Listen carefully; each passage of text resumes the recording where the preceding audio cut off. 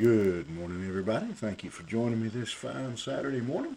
If you want to follow along, uh, if you would, uh, we will be starting the seventh chapter of the book of Acts today. And uh, if you will, like, share, comment uh, on the post, and I would appreciate that. And then let's uh, dig right in. This is really just a continuation of chapter 6. Uh, as Stephen has now, the charges have been brought against Stephen for his uh, preaching, and he uh, is given the opportunity to respond. Are these things so? Uh, the high priest asked. And here's Stephen's answer. Just want to uh, read what he says. Brothers and fathers, hear me. The God of glory appeared to our father Abraham when he was in Mesopotamia, before he lived in Haran, and said to him, Go out from your land and from your kindred, and go into the land that I will show you. Then he went out from the land of Chaldeans and lived in Haran. And after his father died, God removed him from there into this land in which you are now living. Yet he gave him no inheritance in it, not even a foot's length, but promised to give it to him as a possession and to his offspring after him, though he had no child. And God spoke to this effect that his offspring would be sojourners in a land belonging to others, who would enslave them and afflict them 400 years. But I will judge the nation that they serve, said God, and after that they shall come out and worship me in this place. And he gave him the covenant of circumcision. And so Abraham became the father of Isaac and circumcised him on the eighth day.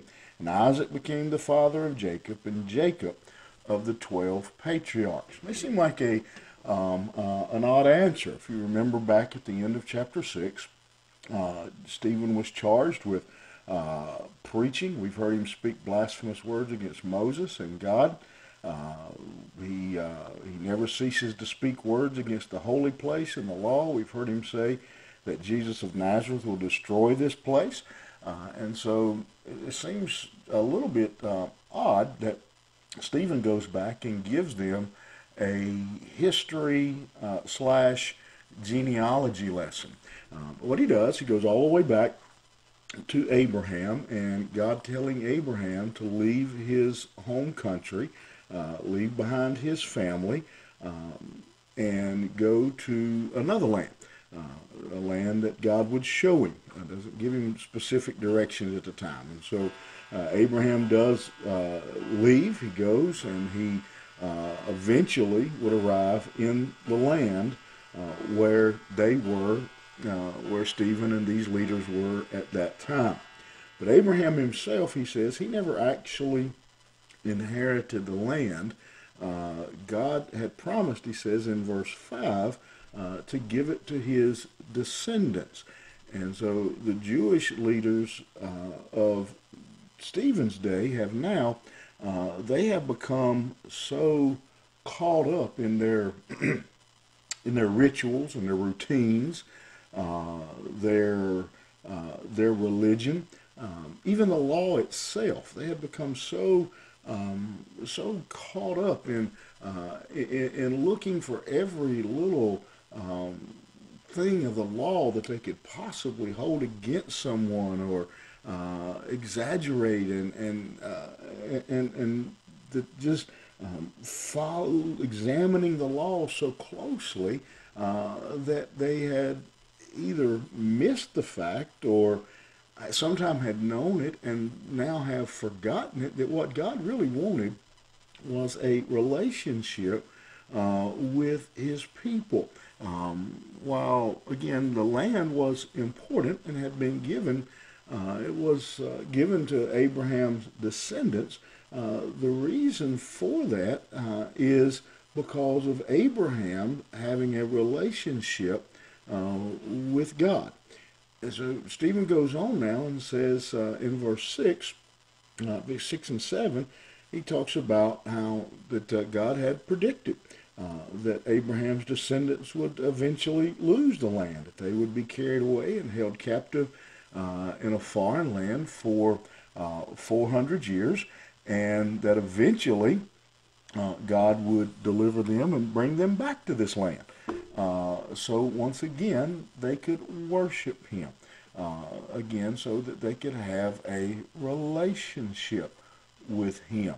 Um, and so the land um, was uh, important, just like it is today, uh, but the land was the, the, the, the, the means where they were to gather and to worship God and to have a relationship uh, with God. Um, it was more about them being the people of God than it was them saying, well, we possess a section of land, uh, that this is our country. And so he goes through here uh, Abraham, Isaac, Jacob, the 12 patriarchs, uh, the 11 who sell their, uh, the 11 of those who sold Joseph into slavery. Um, and yet, uh, he's going to go on and talk about how uh, God stayed with Joseph and remained with Joseph and eventually used that uh, to to deliver God's people. Um, but again, th- there's there's two things really that um, are being stressed in this uh, in this piece of uh, of Stephen's message, and that is um, that we have to uh, not be distracted uh, by the the world and the material things of this world. Uh, our focus has to be uh, on our on our worship, on our relationship with God. And again, that's what had went astray, went off course in the nation of Israel. They had gotten so caught up in the routine, the ritual, uh, the legal uh, aspects of the law, and uh, you know, wanting everybody just to march in step um, and follow those, you know, just uh, just being um, unbearing about, uh, you know, unbearable about their um, enforcement of the law and never emphasizing their relationship uh, with God himself, never emphasizing the fact, again, that God wanted a relationship, that he had brought them in this land so that they could have a relationship with him. And, uh, you know, I think that is uh, still today a great lesson for believers today. Uh, sometimes we get so caught up um, in ritual and routine. What's somebody wearing? Um, you know, there, you know, there's been all kinds of things over the years. The church, you know, you can't go dancing, you can't play cards, um, don't wear makeup. You know, um, don't men shouldn't have long hair. Women have to wear dresses. You, you know, you know the the laundry list of those things, and we get so caught up in the ritual and the routine that we miss our relationship with Him. That God wants to have a relationship with His people. Um, he, he wants to hear from us. He wants to communicate with us. He wants us to know His Word. Um, and, and, again, there's nothing wrong.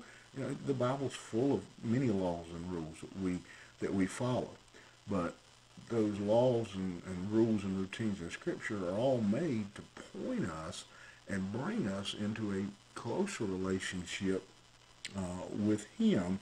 And we tend to focus on the law and miss the lawgiver. All right. Hope you think about that. Have a good day, and we'll see you here uh, Monday morning.